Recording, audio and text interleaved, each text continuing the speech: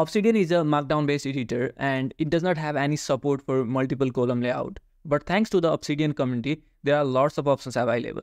And in this video, we'll talk about creating multiple column layouts in Obsidian with the help of modular CSS layout. This is the Obsidian LifeOS world that I created at the beginning of this year.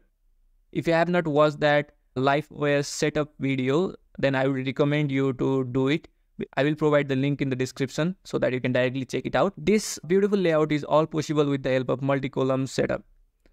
And in this video, we'll talk about creating multiple columns that looks like this. So this is from the Obsidian LifeOS demo world. I close this one and this is a world where I'm creating this video. And these are some examples about what is possible by the end of this video. You will be able to create multiple columns that look like this. And you also can create list columns like this. So I close all of these nodes. Let us go straight into the video and learn how you can create these. For that, we'll be using the CSS snippets. Uh, you can go to Google and search for Obsidian modular CSS layout and you will get this repository by this user efemkay. I guess I'm pronouncing that name right. So this is created by efemkay and this is a very useful CSS snippet. And don't be confused with this GitHub repository. This is not a plugin but a CSS snippet. We'll need to add these CSS snippets to our snippets folder in our vault. First thing that we'll need to do is download the multiple column CSS. The multiple column CSS allows you to reshape either callout or unordered list and position them side by side. There are also other things such as MCL gallery cards, MCL wide views, but we'll only talk about MCL multi-column. You will need to download that CSS file first. You can go to the release section over here and here you will have this zip file. Once it is downloaded, you can click on open and it will have these three CSS snippets, MCL gallery cards, MCL multi-column and MCL views. Now you'll need to move this MCL multi-column CSS to your vault's CSS snippet folder. So I'll click on copy MCL multi-column CSS. Now go back to your Obsidian vault and you can easily go to the snippets folder from settings, go to appearance and over here you will have this CSS snippet section click on this folder icon and it will take you back to that snippet folder and you can paste the MCL multi-column CSS over here. Now here we have the multiple column CSS file.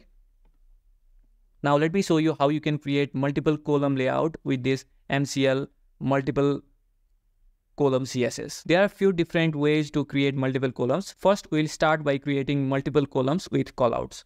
So I'll create a new node and write it multiple columns with callouts.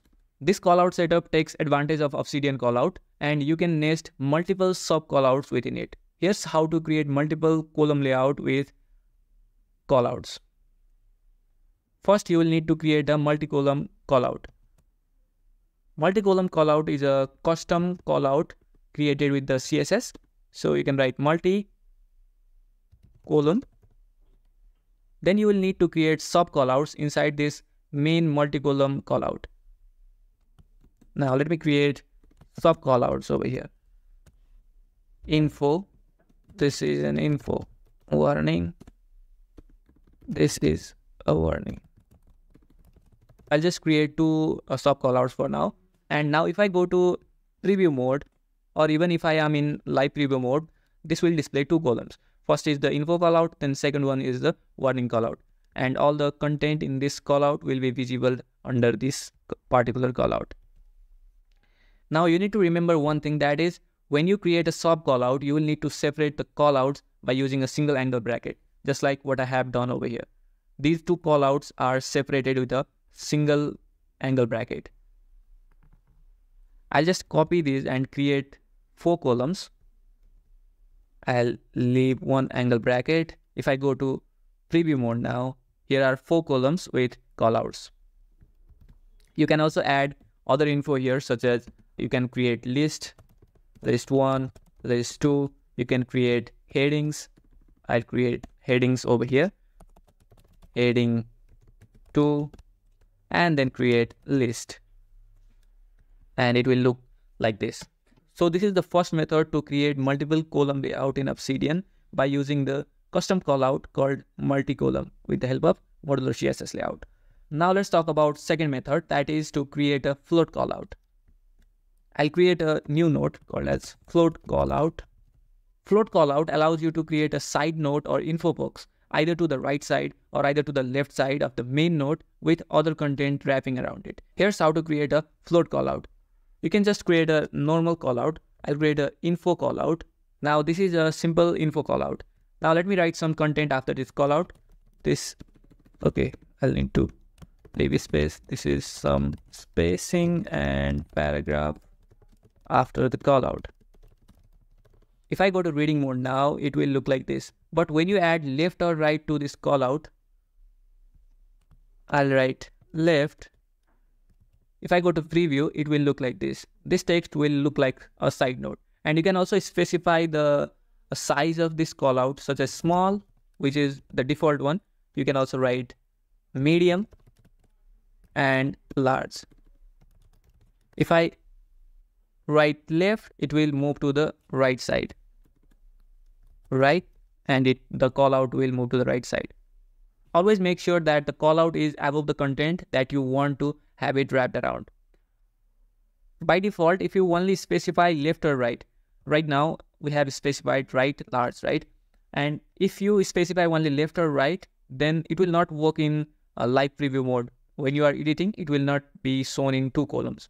If you want that to happen, then you can prepend with float. You can write float large. Even if I am in uh, editing mode, it will work. These two columns will be visible. This is the second way to create multiple column layout in Obsidian with the help of modular CSS layout. Now let's talk about the third method that is blank callout. This is similar to the previous one that I talked about multiple column with callouts. Here is the multiple columns with callouts and we have the and we have four columns over here. The blank callout is similar to this setup, but it differentiates itself by removing the decoration. This can be useful in cases where you want to have an invisible container for the embedded content. This here is the info callout and you can create a blank callout by just specifying a custom callout called blank. And if I go to preview now, the decoration will be removed from this callout. Right, blank and it will have no decoration. It will only have the content. The embedded content will be here, but the decoration will disappear because we, because we are using the blank callout setup. You will still need to use the multi-column callout as the top level callout. And this blank is a custom callout which you can use in the sub callouts. Now let's talk about another way that is list column callout. I'll create a new note list column callout. List column callout allows you to create multi-column layout using unordered list. But one thing that you have to understand is that this will only work in reading mode.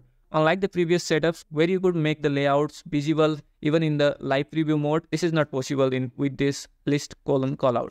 So here's how you can do it. You will need to create a unordered list. I'll create a unordered list with okay, let's create it with four items.